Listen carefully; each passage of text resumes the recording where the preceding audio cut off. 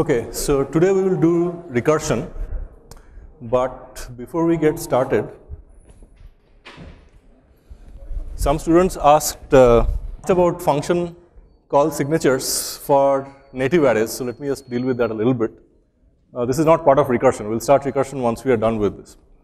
So, if you are declaring a two-dimensional native matrix, you can do it as follows, right? Now, suppose you are doing that inside main, of course, at this point, m and n need to be defined and known. The values have to be known. So suppose you have declarations like int m, n, and then you read them from Cin, then the values will be known at this point, and the compiler can do the necessary memory allocation or generate code for the necessary memory allocation to create that 2D array. Okay. Now, suppose later on inside main, you want to call a function on A. Okay. Suppose you want to turn the function into upper triangular or whatever it is. So here's the issue. So how should you define fun to properly accept A as input? Okay. So technically you cannot even do this in pure C or C++.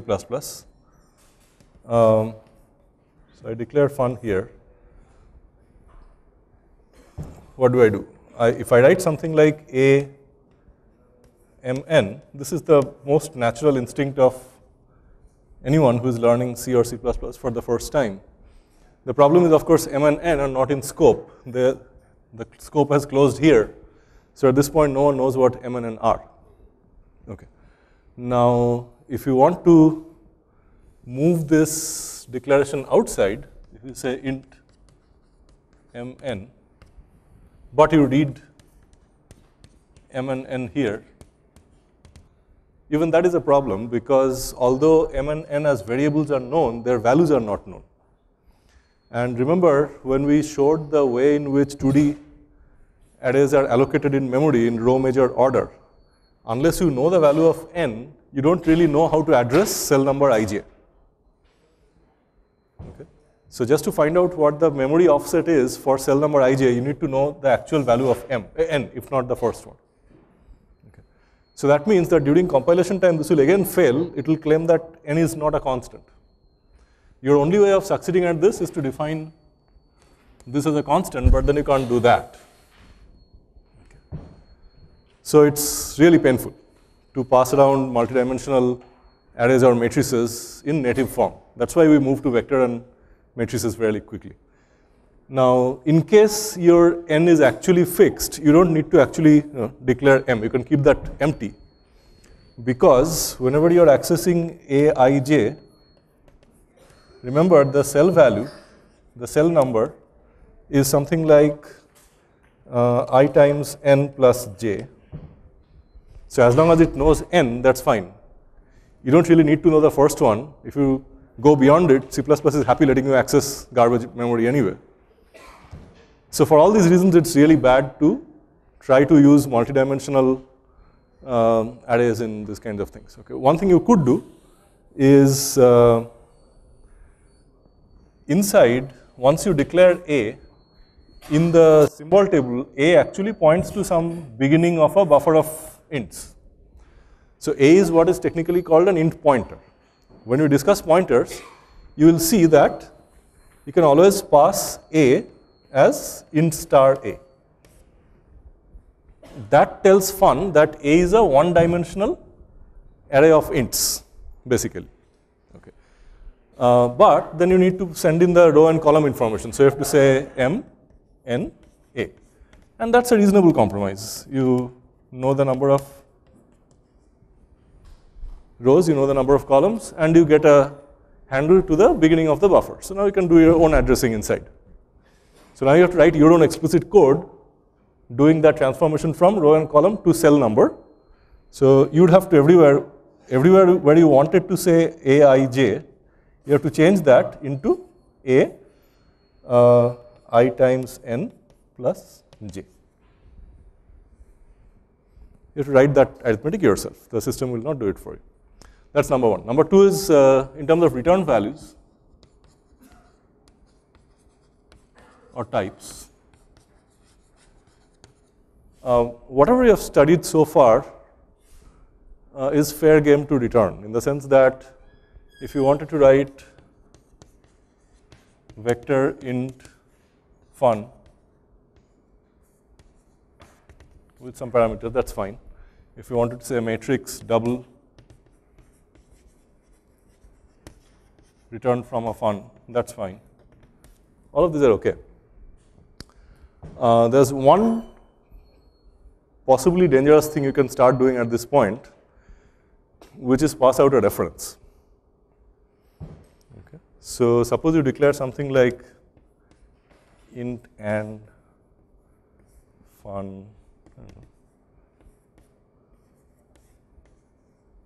Okay. Suppose you do that. So see where this is going. Suppose I say int y equals x plus 1 return y. Yeah. That means you return an integer reference. You don't return an integer, you return an address to an integer.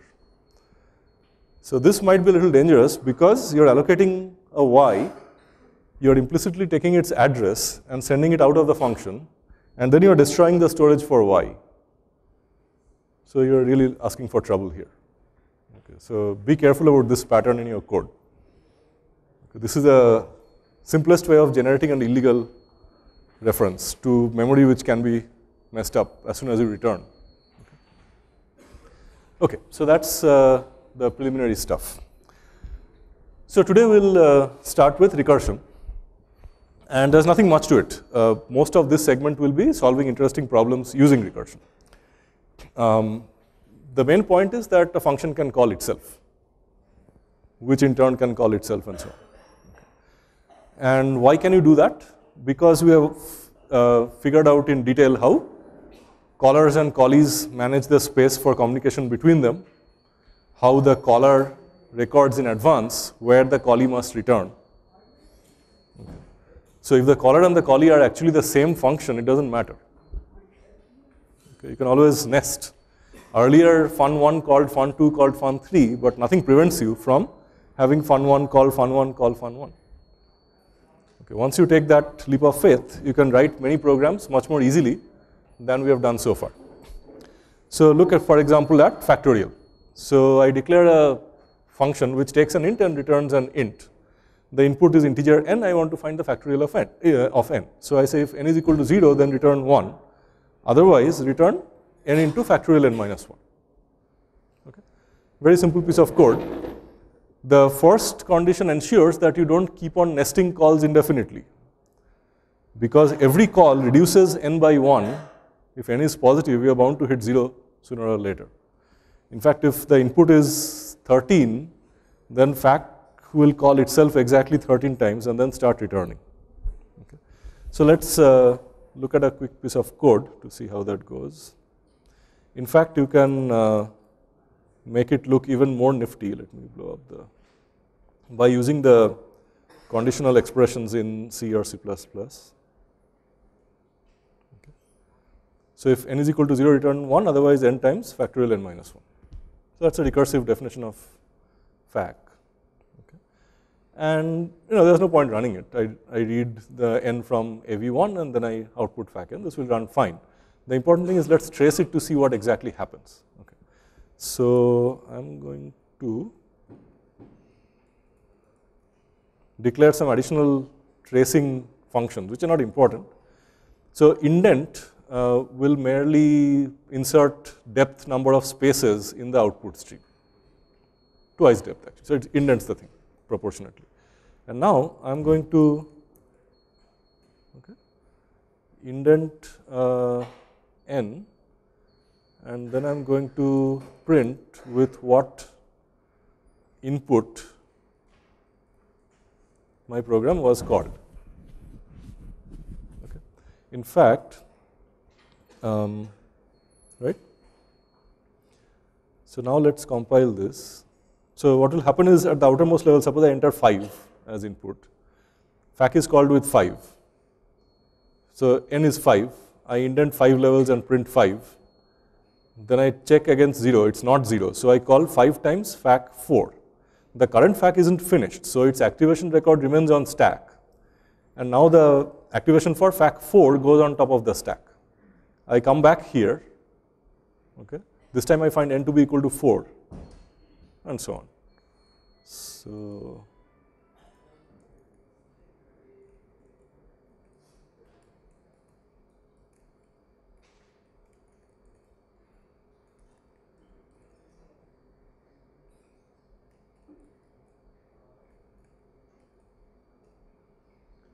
So 5, factorial 5 calls factorial 4 calls factorial 3 calls factorial 2, etc.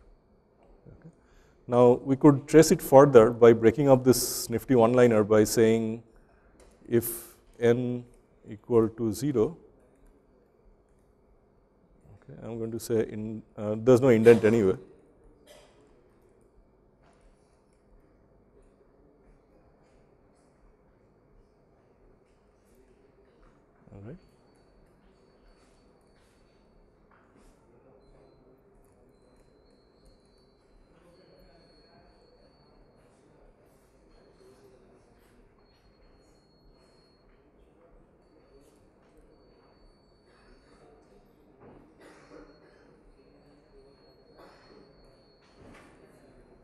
right. So for 0 it's the base case, otherwise I indent and then I print input input equal to n and I okay? Then I compute the final output. Int output equals n into fact that then I finish off, I say, uh, let's, let's put that endl anyway. Okay.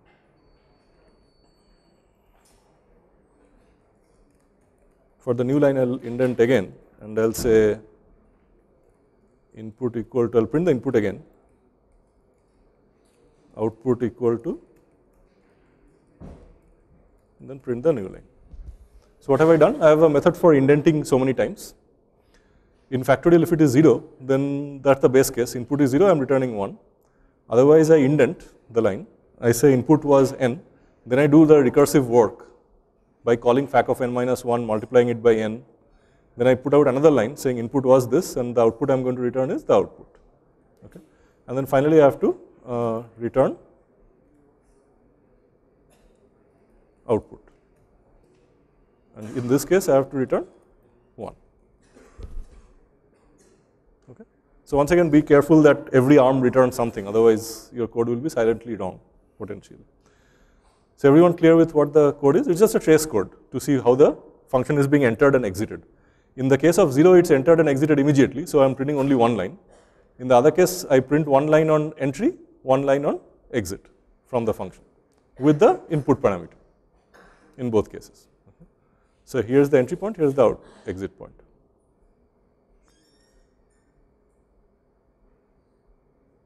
Line 23.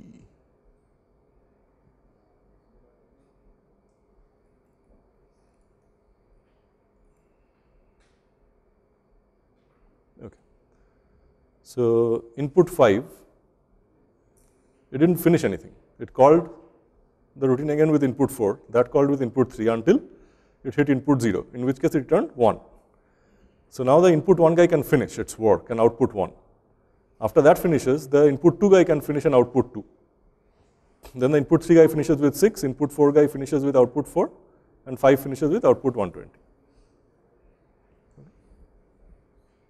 So it's clear what's happening. So in pictures, uh, that activation stack business. So here's my stack. I called fac of 5 So this said that after you return, I'm just putting it pictorially, you have to multiply whatever you get by 5 and then return. Okay. Now, and before doing that, it called fac of 4. So that went as another record where it says whatever you get from below, uh, from above, you have to multiply it by 4 before returning. Okay. Then a third entry went there. Okay. And finally, the zero guy did not call anyone else, right? So, so when the zero guy's activation was running, it didn't make any other recursive call. It directly returned a one from here. That was multiplied and a one passed effectively there. Two passed from here, six, and so on. Fine. So who does all the memory management? The stack segment is managed by your runtime system, which is attached with the your executable code. So the mechanism is the same as managing stacks between any pair of functions calling each other. So that's factorial. The second example I wanted to show is GCD. Okay. Again, uh, exceedingly simple. The code becomes much, much shorter and simpler to read. So here is GCD. So what is GCD of mn? Return n is equal to 0 then m, otherwise GCD of n and m percent n. Okay.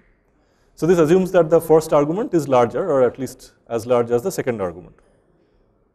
So when you take n, you, are taking the smaller argument and then m percent n is less than n. So the invariant is satisfied. Okay. So whatever we were doing earlier becomes even more readable because I am making a recursive call to GCD here. Okay. So I could do the tracing just like before. Um, you could say print out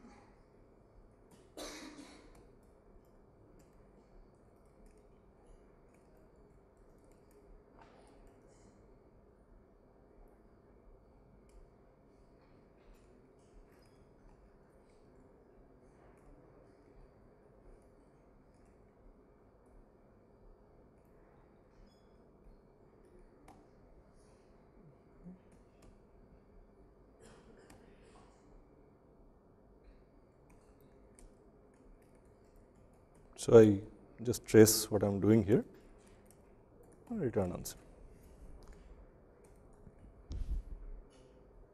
So in the two branches, in one case I exit with m, the other case it's the recursive call. Okay. So I could indent as well um, to keep things a little clear, but indenting now has two variables, so let's forget it. Okay. So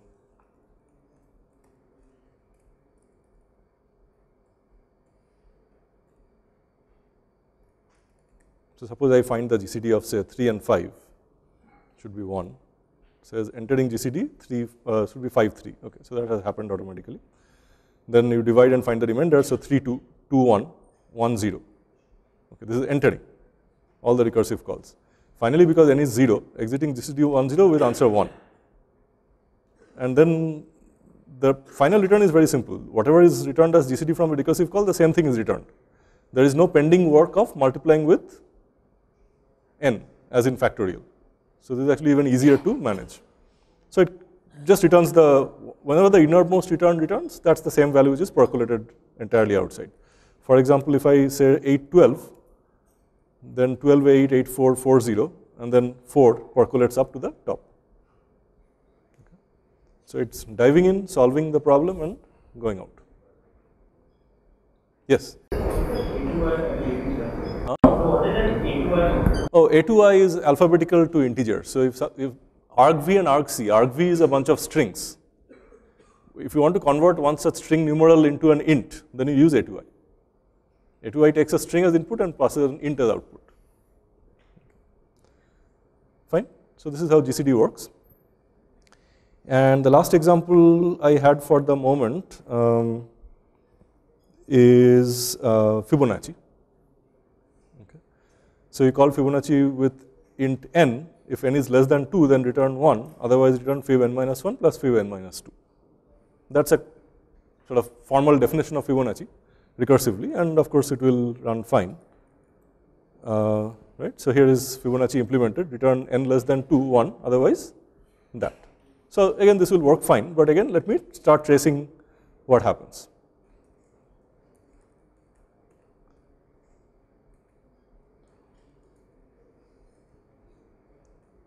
So I'll do this indent code, and now I'll just separate out those things. If n is less than 2, else. Okay. So now I will uh, will do one thing, which is uh, we'll just print out the argument with which it's called. So don't bother about indent. Okay. So I'll say input n. So I'll do that in any case. Let's say. Okay. So I don't need to case it, and I'll end all this thing. So just to record with what argument it was called, and then we'll just do the same thing. okay? Um, and then finally, I'll output the Fibonacci value. Uh, so let's run this.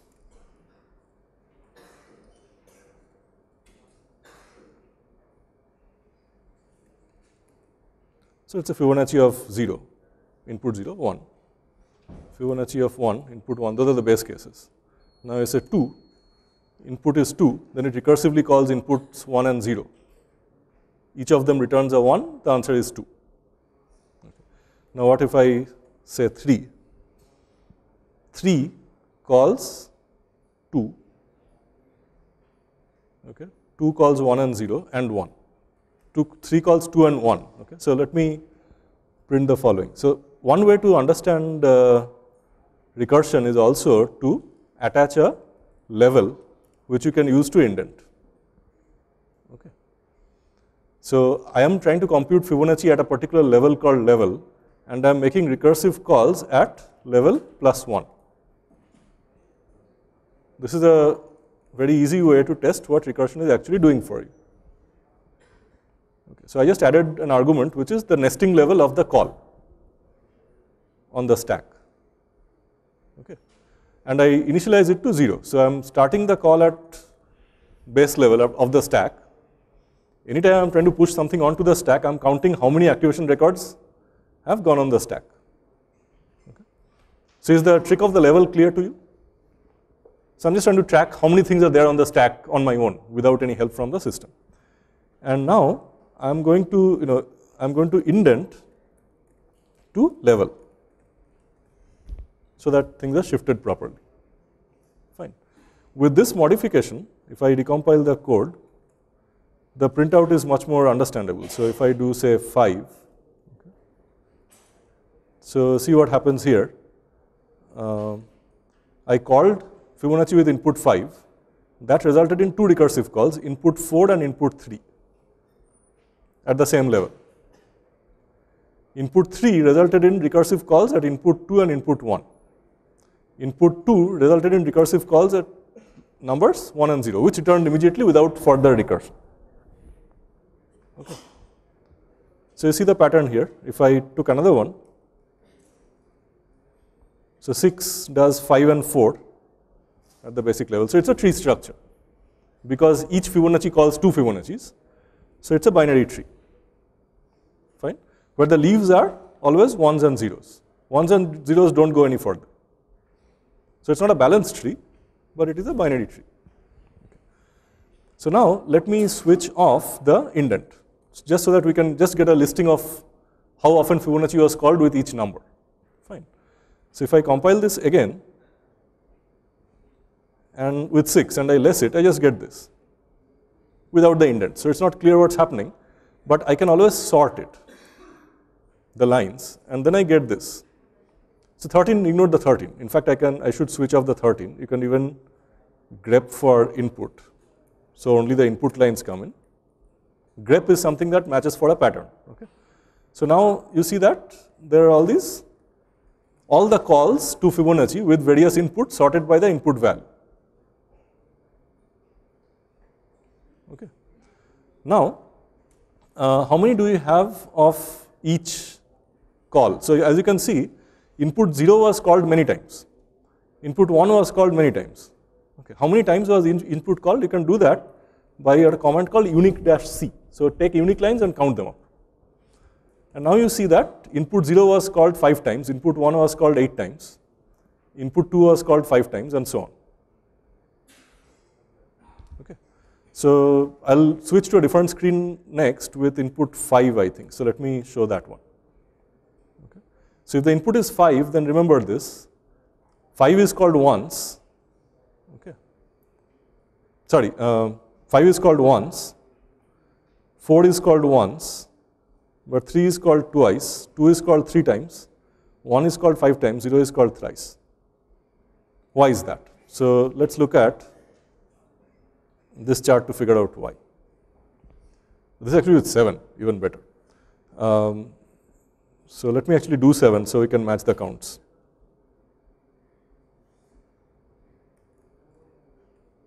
So with 7, Fibonacci is called with input 7 once, with input 6 once, with input 5 twice, with input 1 13 times, with input 0 8 times. Why does that happen? Because of this picture. So let me materialize the whole thing. You call Fibonacci with 7, that results in recursive calls with inputs 6 and 5. 6 results in 5 and 4. Okay? So if you count up the number of leaves with value 0, that will match the count given by the program. Okay. If you count up the number of leaves with value 1, that will match the number of calls with value 1 as printed by the program. Okay. Now you see why this is happening. Because there, are, there is too much repeated work going on here. So if I call it with 5 already in that subtree, you see that every time you know the call with Fibonacci 2 already happens thrice. This entire tree of computation returns the same thing over and over again.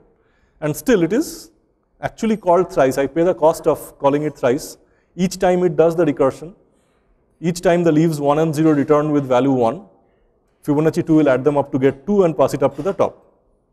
Not only that, even the call with 3 is replicated twice in this subtree already. And now when 6 is expanded, that entire 5 subtree is again copied. Okay here, and the entire fourth subtree is now copied thrice over. Okay, so the moral of the story is just because you can write Fibonacci recursively, you shouldn't. Because the number of subproblems we are solving here grows exponentially. Whereas as we well know, by using just three memory cells, you can compute Fibonacci in linear time. So recursion is a very good hammer, but that doesn't mean that all problems are nails. So recursion may result in unnecessary complication in your code. Every call has an overhead. And so this is an ideal situation where I'm solving the same subproblem over and over again an exponential number of times, which was entirely unnecessary. Why could I save time and effort in Fibonacci? Because as you move up in a wave front from the bottom levels of the tree to the upper levels, you can entirely forget the bottom levels for one thing. And the second is that you could really store the value of fib4 in one place and read it here, there, and here. Why did I have to recompute the whole tree again and again? I could have cached the answer. So these two observations that values older than n minus 2 are not required and that anytime I need this in the recursive definition, I can read it from one place that makes it easier to write Fibonacci in linear time instead of exponential time, as would happen if you ran the recursive code. So offline, what you should do is that you should compile the standard Fibonacci recursive code, and you should run it with increasing input arguments so that it actually does this exponential business, and measure the time, and do a quick plot of as you increase n, how much time does Fibonacci recursive take to return. You will find it grows exponentially. Whereas quite obviously from the iterative scheme, Fibonacci of n will take order n time. Okay. So that's an important uh, lesson that recursion should be used uh, quite sparingly when you think the setting is quite right. Okay.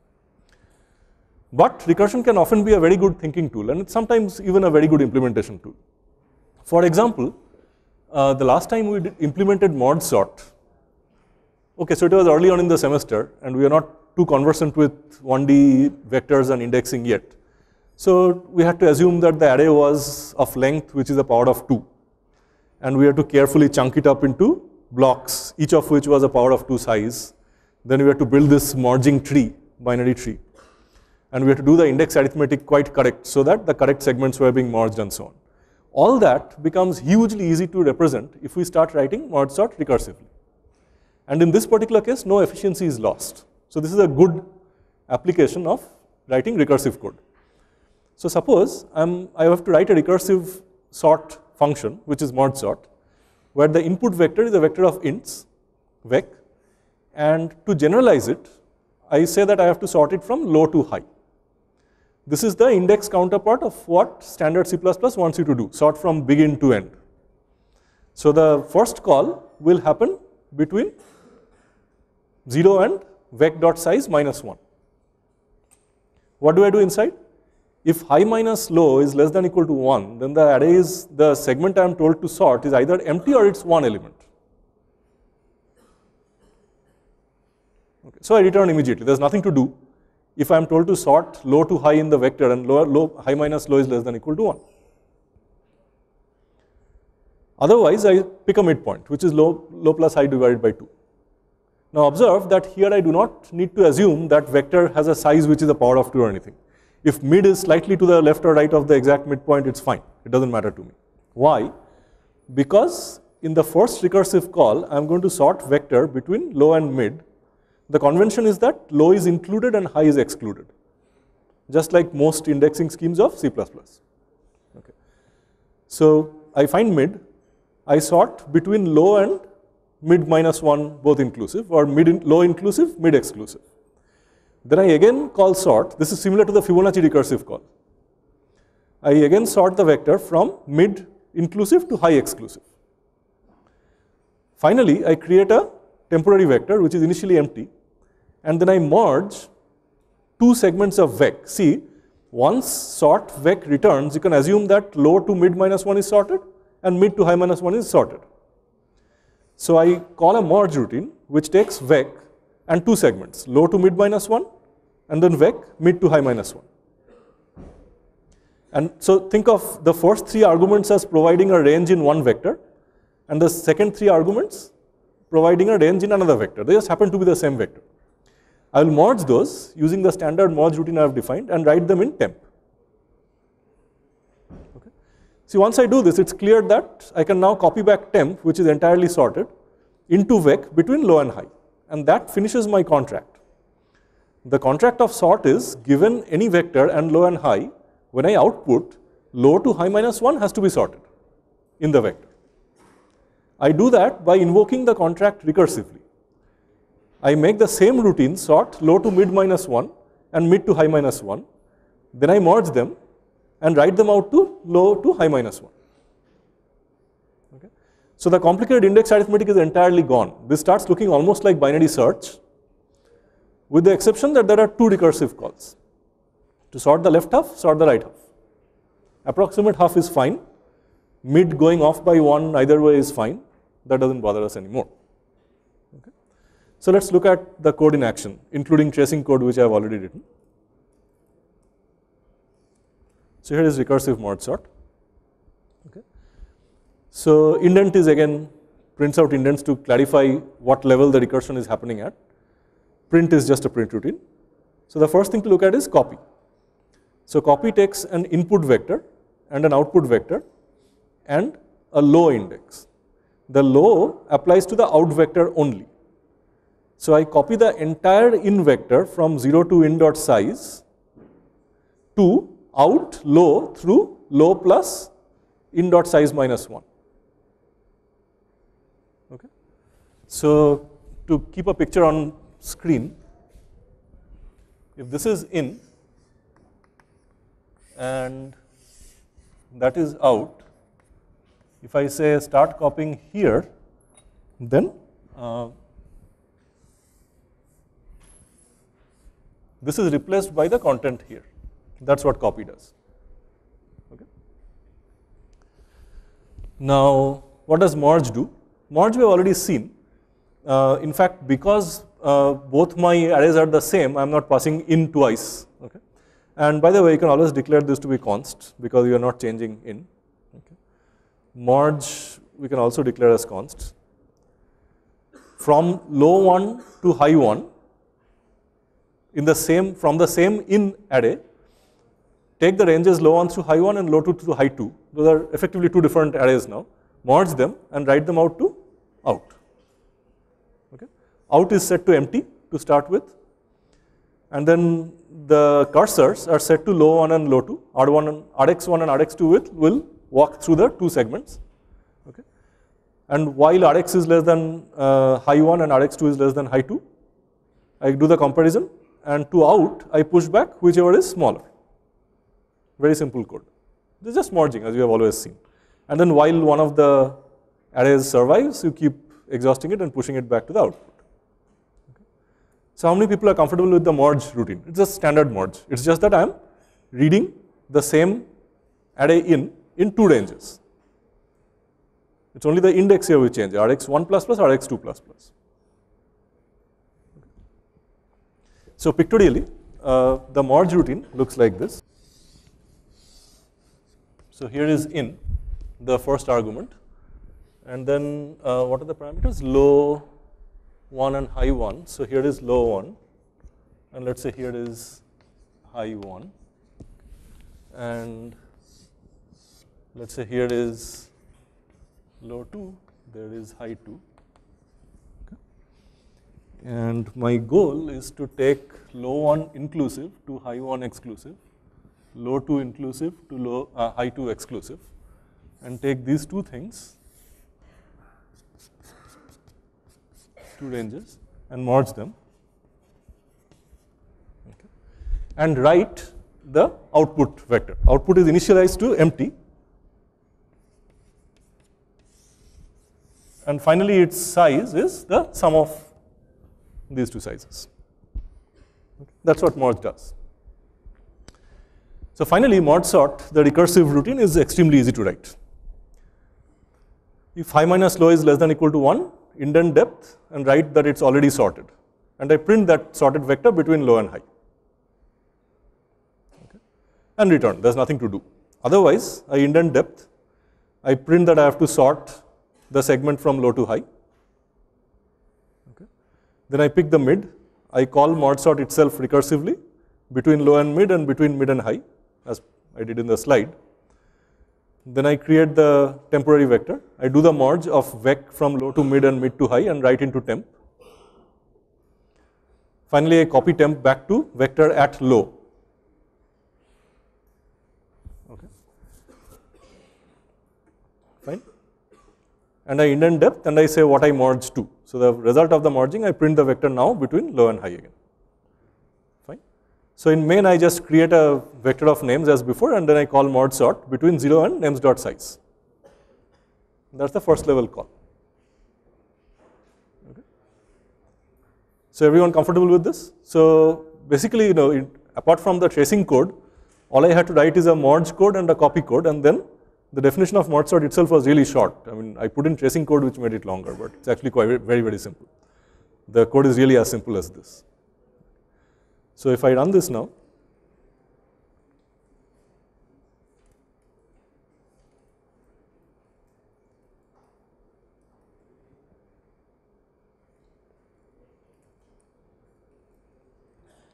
okay. To sort the original array, zebra, alligator, giraffe, wolf, lynx, jackalope. Okay. That results in two recursive calls, this one and that one. The first one goes from zebra to giraffe half the array. The second one wants to sort wolf to jackalope, wolf to jackalope. Okay. Let's focus on the first subtree here. Okay. So I split it down the middle, but because there is an odd number of elements, the left one contains only zebra, and because it has only one element, it's already sorted. Then I have to sort alligator and giraffe that recurses into sorting alligator and sorting giraffe in two different segments. Those are already sorted again because they are base cases, only one element. Then I merge alligator and giraffe as two different arrays into alligator and giraffe. Okay. Now what do I have? I have zebra already sorted. I have alligator, giraffe already sorted. When I merge those, I have alligator, giraffe and zebra. Okay. On the other top level branch, I wanted to sort wolf, lynx, and jackalope. So again, I do a cut. I find one element on one side and two on the other. Wolf is already sorted, being a single element. Now I have to sort lynx and jackalope, decomposes into sorting lynx and sorting jackalope. Already sorted, one element. I merge to jackalope comma lynx, and then that merges with wolf to jackalope, lynx, and wolf. So at this point, I have alligator, giraffe, zebra, and jackalope, lynx wolf. When I merge them, remember each of them is sorted now. I merge to alligator, giraffe, jackalope to zebra. So it's the same merge sort, except that I don't need to do that messy index arithmetic. I just split it in the middle, it may be off, doesn't matter. I do recursive calls. I get each of the sub arrays sorted, then I merge the two and write it back in place. So how many people are comfortable with uh, this? Good? Okay. Now once we have the power of recursion, uh, we can actually write another very nice uh, sorting routine called quicksort, which some of you may have heard of. Okay. So suppose we have this array to sort 51926. In quicksort, the first step is to pick what's called a pivot element. And the pivot could be any of those elements. So let's arbitrarily pick the first guy as pivot. So choose an arbitrary element as what's called a pivot, mark it yellow, 5. Okay. The next job is to what's called sift. Okay, so you shake the array and sift it so that all elements less than 5 go to the left of 5, all elements larger than 5 go to the right of 5. But within those, we don't bother to sort yet. In other words, elements less than 5 were 1 and 2, and they happen to be already in sorted order, so that's fine. We don't disturb that. Elements larger than 5 were 9 and 6 in wrong order. We don't bother. We actually keep them in the same order, 9 and 6. All we have done now is similar to merge sort, we have created a split. One middle element and the left which is less and the right which is more. Okay. So that's the mapping and note that the other elements are not necessarily sorted among themselves. The only guarantee is that the left, every element on the left is less than 5, every element on the right is greater than 5. Now the problem naturally decomposes because I can say whatever be the left segment, just sort it. Whatever be the right element, just sort it. The left element is already sorted in this case. The right element is sorted to 6 and 9 and that gives you the sorted overall.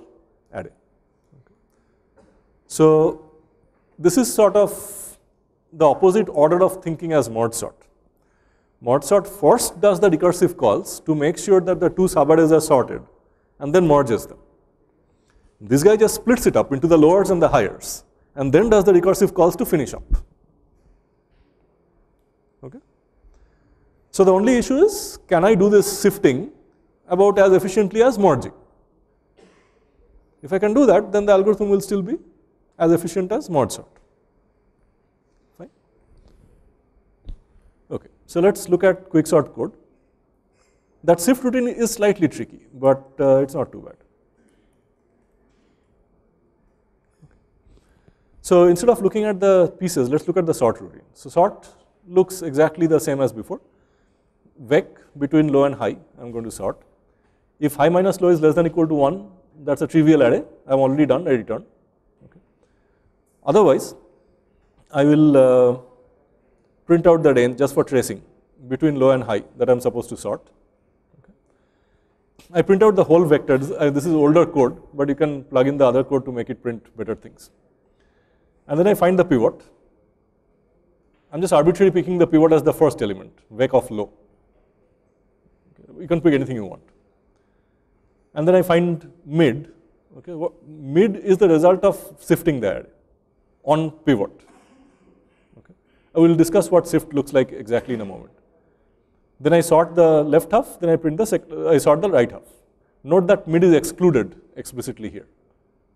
So compared to merge sort, it's slightly different in that I sort from low to mid minus 1, but not mid to high minus 1, mid plus 1 to high minus 1, because the pivot is already done. It's in the correct position. So sort itself should be fairly clear provided we understand what sift really does. So sift returns mid in the sense that I picked some arbitrary value in this thing, I want to find out what the position was. So mid will be in this case 2 because 5 moves to position 2. So the job of the shift routine is to place 5 so that all the smaller elements come to the left and all the larger elements go to the right and report where 5 landed up so that I can do the recursive calls with the correct range indices. Okay. So, so shift tells me where vec of low landed up and I use that mid to create the recursive calls here. So let's uh, see how this works. In particular, shift is the most complicated thing here. So what does shift do? See, shift is passed three arguments. It's passed the vector with the range that's involved, low to high minus 1. The third argument is the pivot index. Okay. The pivot index in particular is always being called with low. But that's just happenstance. Okay, I mean low, you could choose anything between low and high minus 1 and pass it as the third argument. The algorithm would be correct nevertheless. Instead of low, I could put high minus 1 and the algorithm would be perfectly right. You could put in anything between low and high minus 1 as the third argument. Okay. So let's return to low. And now what does shift do? Okay. This is a little messy. Okay. So see, finding out the correct position of the pivot element is easy. I just have to count how many elements were less than the pivot. But during the move, I have to make sure that I am not copying things too many times, that I am moving it in one shot. Okay. So the way we do it is as follows. First, I swap the pivot with the highest thing. Okay. Let me uh, keep going with that example I have here. Okay, 51926. It's good to do on the board so that all of them remain on in your view at the same time. 5 uh, 1926 and this is my pivot element. So px is 0 to start with. So here is the code. So the very first thing you do is swap vec px with high minus 1. So what happens here? High minus 1 is 6, the value is 6. So it, it goes 6, 1, 9, 2, 5. Okay, that's the first step that happens. Now I set a write cursor to low, wx. And now for a read cursor, going from low to high minus 1, high minus 2 actually, Rx less than high minus 1. So Rx less than equal to high minus 2. So the read cursor can only go up to this point. Okay. What do I do? If vec of Rx is less than vec of high minus 1, remember high minus 1 now has the pivot. Okay, so Henceforth, this is where the pivot element has landed up. Okay. If what I am reading at Rx is less than the pivot, then I swap Rx with Wx. Initially they are the same, okay, and then I increase the write cursor. So think of, you know, whenever you see a write cursor in such use, think of a new array that you are starting out. I'm just reading from the first to everything up to and excluding the pivot itself. Anything that's less than pivot, I'm appending to the new buffer in the same order. I'm not bothering to sort. Okay? And at the end of it, uh, I'm just swapping the pivot with the read cursor, write cursor. Remember at the end of it, the write cursor will exactly be the number of items less than the pivot. So I just push the pivot to the end of it and by magic, everything that's larger have moved to the right. Okay, let's trace this and you'll see that happen. So in the first step, Rx and Wx are both 0 and the condition is not satisfied. So nothing happens. Okay. Only Rx always advances because it's part of the for loop. Wx doesn't advance unless you actually append something here. So after the first step, the added is the same, Rx advances to this position. Okay. At this point, vec rx is less than the pivot. Okay. And what happens is that uh, I swap rx with wx. So the, the array becomes 1, 6, 9, 2, 5. wx advances because I did do some writing and rx advances here.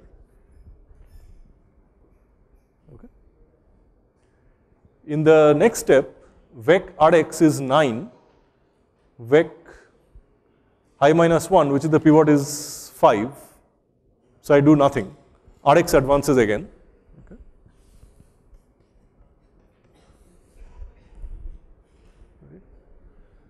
So this time 2 is less than 5, and so I do a swap between Wx and Rx. Okay. So the array becomes 1, 2, 9, 6, 5. And I'm done because Rx has bumped into the right limit of i minus 2. And the final step switches, so remember what Wx is. Wx is advanced 1 to this one. Okay. And at this point I swap i minus 1, which is the pivot, with Wx. So this becomes 1, 2, 5, 6, 9. So in this case it turns out to be sorted, but it doesn't need to be in general. Changing the sorting order of You're free to change it. You don't, you don't need to guarantee that it's that the left and right half are sorted. Okay. Fine. So the pivot lands up here. Uh, This is less than pivot, that is greater than pivot. That's all we guarantee. So the only tricky part here to understand is that by first pushing off the vector to the right and then you know, swapping as I'm doing, that everything higher than the pivot automatically percolates to the right. But after looking at the code for a couple of examples, you'll figure it out easily. Okay. So that's the shift routine. Clearly the shift routine takes linear time. Okay. So this is a situation of input dependent complexity in the sense that suppose uh, the time to sort n things, I want to write this as the time to shift plus the time to sort the left plus the time to sort the right. Well, everything depends on where the pivot landed up. I don't know where the pivot was, so it's value dependent. Unlike merge sort, where we purposefully chopped it up into halves, so you know exactly what the time was. So analyzing this is a little more complicated. Um, one way to analyze it, okay, so for example, the worst case time for quicksort is n squared. What if the array given to you is already sorted and you kept picking the leftmost element as pivot? You're only getting rid of one element at a time. So you can verify that your time will be n squared. But there is a way to ensure that quicksort is quick, that's why it's called quicksort, which is that you pick a random pivot. You actually choose one of the elements in the current range at random. In that case, it's easy to show or not too difficult to show that the expected time is order n log n, just like merge sort. And the advantage of quick sort is that you don't need an additional buffer like merge sort. We are doing the shifting in place. Okay. Fine. Any questions about quicksort? So it's the opposite of merge sort in a way of thinking because in merge sort you first merge the two sub lists and then you merged it. Here you first split up the original list, shifted it and then recursively sorted the two remaining parts. The smaller part and the larger part.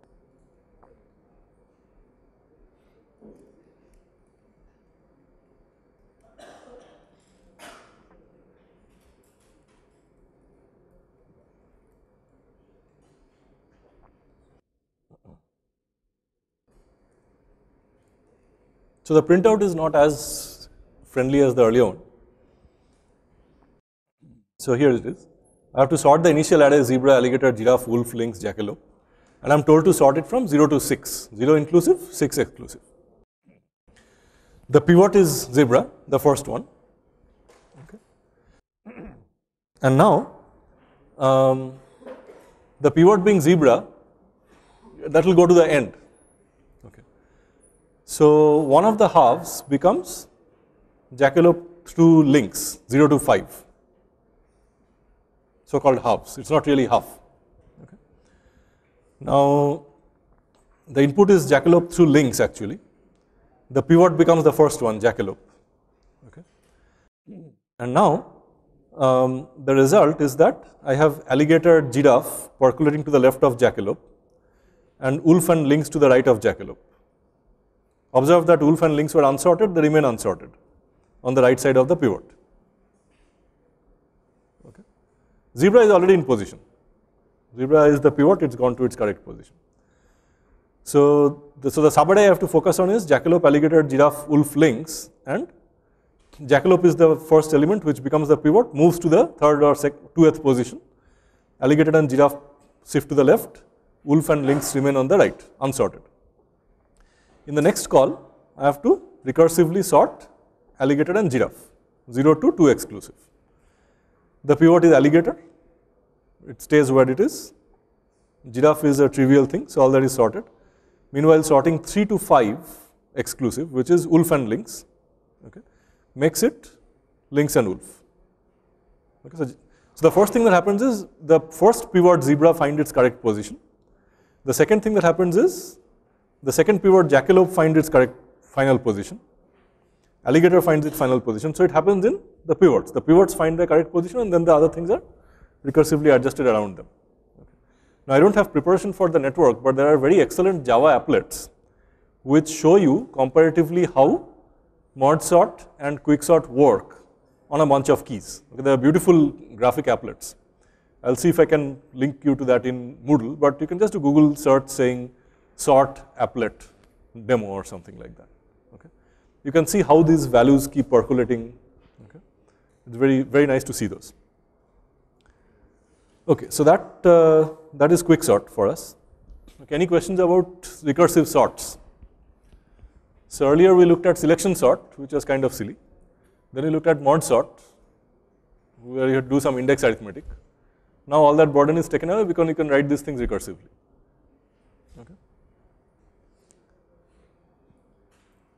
So the last problem we'll look at today, uh, will start, but probably not entirely finish, is string edit distance. Okay. Now, so what do I mean by that? You want to find out how similar two strings are. Like you want to find how similar are the two strings kitten and sitting. And you express that as, okay, someone replace the k by an s and that became sitten, which is a meaningless word. Then the e became an i, that was sitin, and then you appended a g and that made it sitting. Okay. Why is it useful to talk about string edit distances? I'll give you a whole bunch of applications. Um, nowadays, many envelopes that are addressed with printed addresses on the top, they go through optical character recognition software for automatic routing in big post offices at the metro level. Okay. So the OCR can make some mistakes because the label wasn't quite stuck on a right angle or there's a smudge of ink somewhere. Okay. What you want to do is to find the nearest matching city name or town name or street name. Okay, you want to find the, an actual address in the post office's address book which is closest in terms of edit distance. Fine. Another example is where um, you are trying to judge if one web page was a copy of another one so that you don't index it twice in your index. Very often what happens is you, you know, someone can take a whole site and mirror it. Okay. Or you copy someone's page and say, I really like this and I didn't want to leave it at their site because that can go away. I just made a local copy so I can always see it. And sometimes you're honest, you can write at the bottom that you know this was last modified by yourself. So your page will have a small difference from the earlier page. Okay. So to detect whether these two pages are very similar, you might want to do a string edit distance. Uh, gene research is another important place where string edit distance is very important. So some of you may know that genomes can be expressed as strings of four characters, A, C, G, and T. And then whether an enzyme docks with a gene at the proper site or not really depends on string matching. So large molecules are actually distilled into a few characters. And the pattern of characters decides whether the enzyme in a particular drug or maybe a virus can dock onto a particular point in your genome and damage it or fix it. Okay. So to do that, you need to find out edit distances between two genomes or a genome's molecule sequence and a drug's molecule sequence to decide if they can dock. So string matching and string edit distance is very, very important in many areas of computing with other applications. So coming back to this example, if I had to tell someone what to do to edit kitten to sitting, I would give the following instruction. Replace k with s, and in case there are multiple k's in the string, I have to say which one, of course. Then replace e with i, and then append a g. So there are three operations.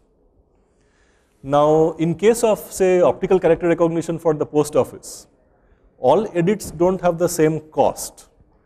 It's fairly easy to confuse reading a 7 for a 1, depending on how you write it, or an 8 for a 3. It's much more rare for a 8 to be mistook for a 1. Okay. So when I say replace E with I, the cost of that may be quite different from replacing Q with G. So in general, we may have a matrix which gives you the cost of mistaking one character for another one. But in this simple example, I'll assume that the cost of any such operation is exactly one unit. And when I say I'm looking for the minimum cost edit, I mean give me an edit transforming one string to the other with the minimum number of operations. Just count the number of operations to turn one string into another. So how do I do this? Now, clearly, you know, I can't do an exhaustive search because there are too many characters that I can insert at too many positions. So I need to do this a little smartly. Okay. So I, I set up the two input strings as two arrays, okay? and for once I'll use a one base because that will make life a little easier for us. So the string s, which is kitten, is goes from k in position 1 to n in position 1, 2, 3, 4, 5, 6. Okay? And similarly, t is sitting. So the source and the target, the two extreme points are s and t. And we define d of ij to be the smallest edit distance or the smallest number of operations in this case that can convert s to t. So dij returns an integer. dij is a function which can read s and t. And dij is defined as the smallest edit distance between not s and t as a whole, but prefixes of s and t. So I'll build up my solution gradually. Just like I was building up Fibonacci of n, or I was building up recursive merge sort. Okay? So dij is the smallest edit distance between the prefix of s from 1 to i and t from 1 to j. All right. Now what are the base cases? Suppose I start with the second string being empty. Okay, so if dij if j is equal to 0, it means that my target string is empty. And di means I have to start from s1 and go up to i. Now suppose I take d of 1 0, what does it mean? It says take the string k alone and turn it into an empty string. What is the cost? I have to delete k. Right? So, so here is s, here is t, let's say.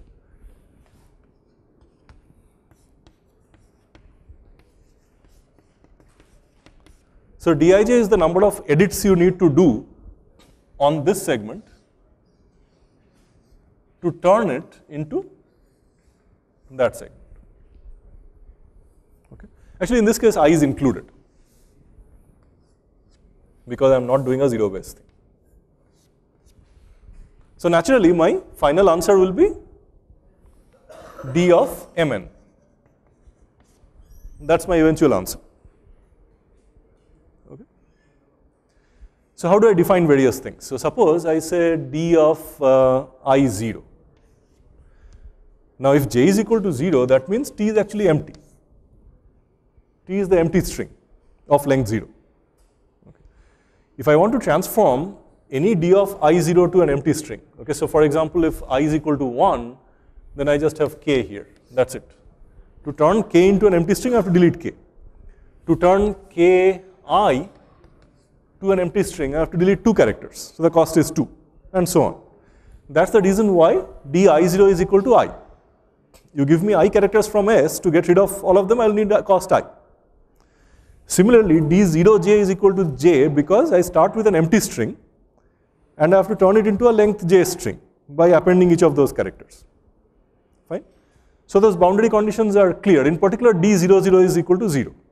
To turn an empty string into an empty string, you don't need to do anything. The cost is 0. Fine?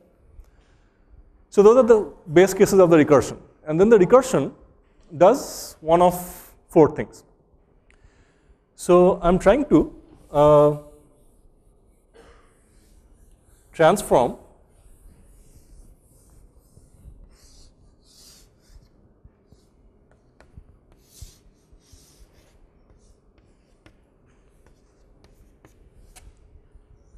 the string from S1 through Si to the string T1 through Tj and j not doesn't need to be equal to i. j could be here. But suppose I find that the last two characters are the same.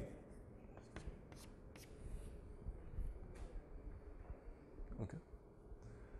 So if I am trying to transform S1 through i to T1 through j and Si is equal to Tj, that's the first case then that last place is already matched. There's no cost for it. And I'll have to just recursively match the prefixes. So the call now says that I just have to match this guy with that guy and I'm done. That's the first line. So dij is equal to just di minus 1 j minus 1 in the fortunate case that the last characters are the same. Fine. What's the second situation? you may choose to delete the uh, last character of one of them, which means an insertion for the other one. Okay.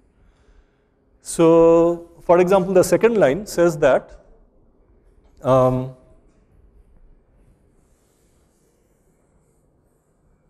those two characters are not equal and I think I should uh, delete i.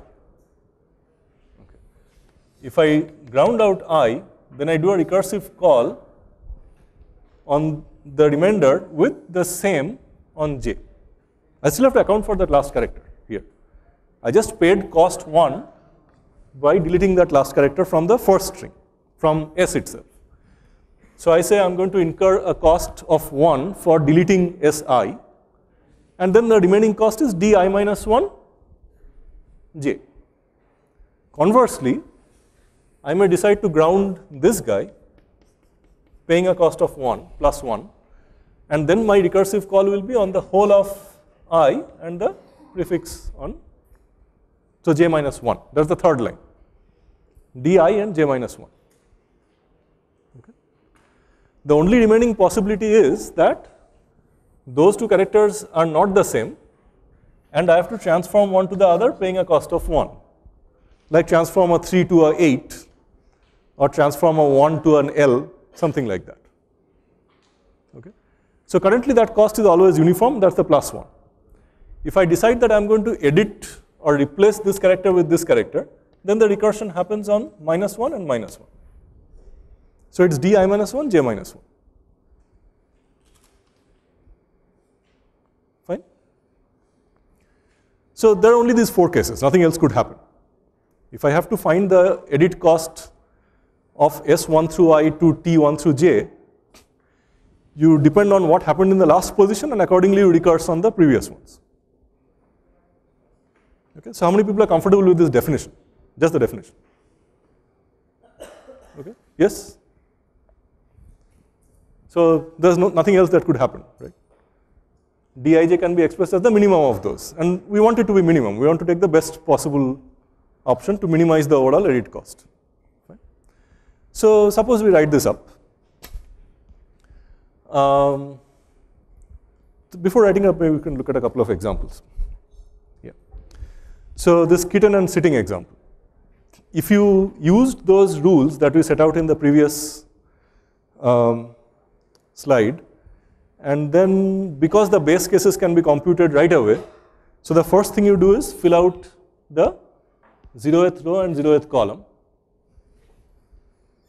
Okay. Remember we said that di 0 is i and d0j is j. Okay. And now we start filling things out from this corner toward the bottom. Okay. See, the recursion always refers to either the previous row or the previous column or both. So the right way to fill up would be say row wise or column wise after you are done with the boundaries. Okay.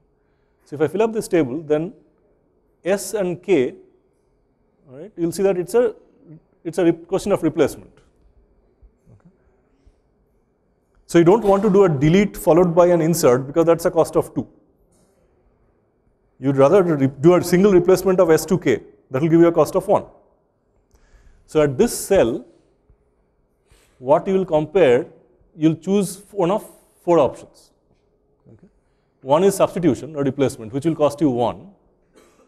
See, the last characters are not the same, right? S and K. So the first doesn't apply.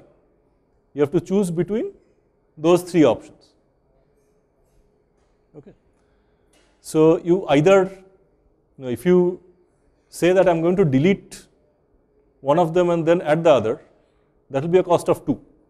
Whereas if you choose the third option, replacement, then it will be just 0 plus 1. That's the one you will take in this case. Now, in the second place, i is equal to i.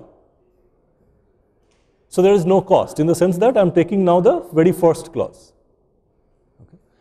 And so this value is just 1 plus 0. Okay.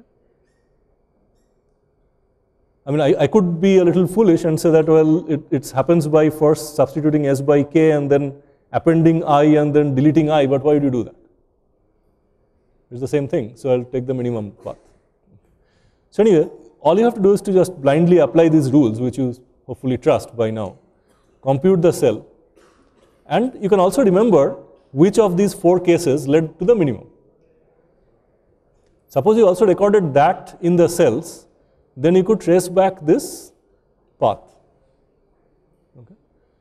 So you would actually remember that this minimum was achieved because of substitution of k with s. That was achieved by doing nothing because i and i matched up, t and t matched up. So you go right down here until I end up with n which also matches. Okay.